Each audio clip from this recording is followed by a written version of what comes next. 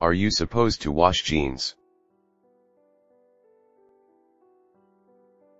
Levi CEO Chip Bergh claims machine washing is completely unnecessary, but science demands that you should wash your jeans every 4 to 6 days, according to Tech Insider.